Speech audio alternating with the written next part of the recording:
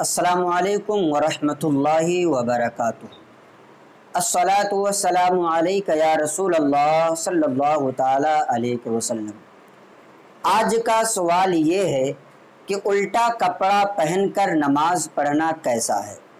कभी कभी ऐसा होता है कि हम कपड़ा पहनते हैं और कपड़ा हमारा उल्टा हो जाता है। जैसे कि शर्ट पहने उल्टा पहन के चले गए टी शर्ट पहने उल्टा पहन करके चले गए या कुर्ता है या पाजामा है ख़ास तौर पर नीचे का जो कपड़ा होता है, पाजामा या पैंट वगैरह, ये आम तौर पर लोगों का उल्टा हो जाता है। तो अगर कभी आपका उल्टा हुआ और आपने नमाज़ पढ़ ली तो ऐसे सूरत में नमाज़ होगी या नहीं? अगरचे बाद में चला हो तो बाद में पता चलने के बाद उस नमाज़ को दोहराना पड़ेगा या नहीं? आज इन तबारक ताली ये सारी चीज़ें आपके सामने पेश करूँगा। सबसे पहली चीज़ आप ये याद रखें कि उल्टा कपड़ा पहन कर नमाज़ पढ़ना, ये मकरूह तहरीमी है। और फ़ुकाय कराम फरमाते हैं, कुल्लु सलातिन उद्दियत मा कराहत तहरीमी तजब कि हर वो नमाज़ जो कराहत तहरीमी के साथ अदा की गई हो, उसका अदा करना वाजिब है। ये इस मकरूह तहरीमी क्यों है? तो बार शरीत में मौजूद है कि ये खिलाफ मोहताद है। खिलाफ मोहताद होने का मतलब ये होता है कि इंसान की आदत आम तौर पर यह है कि वो सीधा कपड़ा पहनता है, अपने किसी बड़े के पास जाना हो तो वो इस तरीके से कपड़ा पहन करके नहीं जाएगा। कहीं मार्केट में जाना हो, बाज़ार में जाना हो तो उस तरीके से कपड़ा पहन करके नहीं जाएगा। यानी आदत ये है कि इंसान सीधा कपड़ा पहन कर ही कहीं बड़े के पास जाता है या बाज़ार में जाता है, जहाँ पर लोग उसे देखते हैं। तो आदत के मुताबिक करने को खिलाफ मोताद कहा जाता है। तो ये हुआ कि अगर नमाज़ पढ़ लिया तो नमाज़ मकरूह तहरीमी वाजिबुल अदा हुई।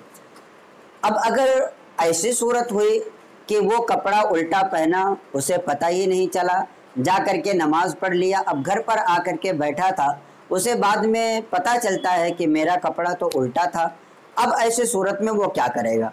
तो अब ऐसे सूरत में भी उसके लिए हुक्म यही है कि वो अपनी नमाज़ को दोबारा पढ़े।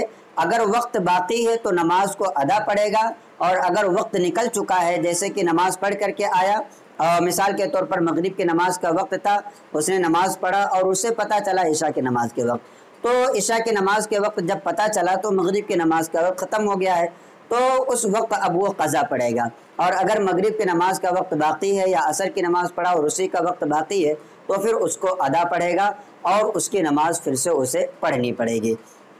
दूसरी चीज़ ये कि बहुत सारे लोग अब ये भी पूछेंगे कि अगर अंदर का कपड़ा जैसे बनियान है अंडरवियर वगैरह है, ये कपड़ा अगर उल्टा हो जाए तो ऐसी सूरत में नमाज़ का क्या मसला है, नमाज़ का क्या हुक्म है? तो आप याद रखें कि जैसे अंडरवियर है या बनियान है, जो चीज़ अंदर पहनी जाती है, वो दिखाई नहीं देती। अगर इस तरीके का कोई कपड़ा है और उसे उल्टा पहन लिया है तो ऐसी नमाज़ मकरू तनजी है। यानी ऐसे सूरत में नमाज़ हो जाएगी, उसको लौटाने की कोई ज़रूरत नहीं है।